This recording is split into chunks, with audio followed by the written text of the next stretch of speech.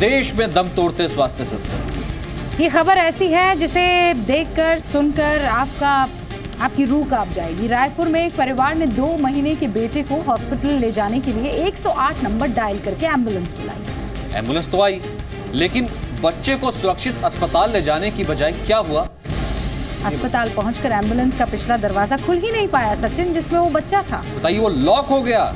एक घंटे तक बच्चा तड़पता रहा अंदर और फिर एंबुलेंस में ही उस बच्चे ने दम तोड़ दिया।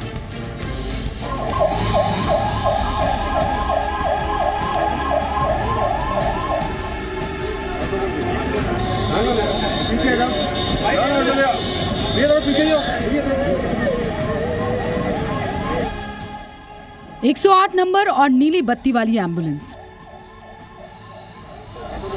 ये माँ इन दोनों चीज़ों को कभी नहीं भूलेगी। क्योंकि इस बेबस माँ के दो महीने के बेटे ने एंबुलेंस में ही तड़प तड़प कर दम तोड़ दिया। रायपुर में दो महीने के नवजात का एंबुलेंस में दम घुट गया।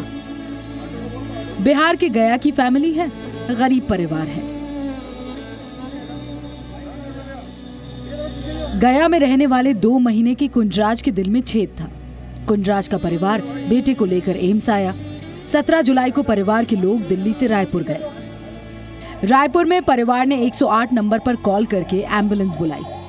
एंबुलेंस आई और बच्चे को लेकर परिवार के लोग बैठ गए। एंबुलेंस बच्चे को लेकर अंबेडकर हॉस्पिटल के बाहर पहुँची। लाख कोशिशों के बावजूद एंबुलेंस का पिछला दरवाज़ा नहीं खुला। परिवार ने शीशा तोड़ने की बात कही, लेकिन ड्राइवर नहीं माना। करीब एक घंटे बाद मैकेनिक ने आकर एंबुलेंस का दरवाज़ा खोला। एंबुलेंस का दरवाज़ा तो खुला, लेकिन बच्चे की मौत हो चुकी थी। 108 नंबर वाली एंबुलेंस में ऑक्सीजन सिलेंडर था ही नहीं। छत्तीसगढ़ की स्वास्थ्य सेवाओं पर यह घटना एक दाग की तरह है। रायपुर से सत्य प्रकाश के साथ ब्यूरो रिपोर्ट, जी मीडिया।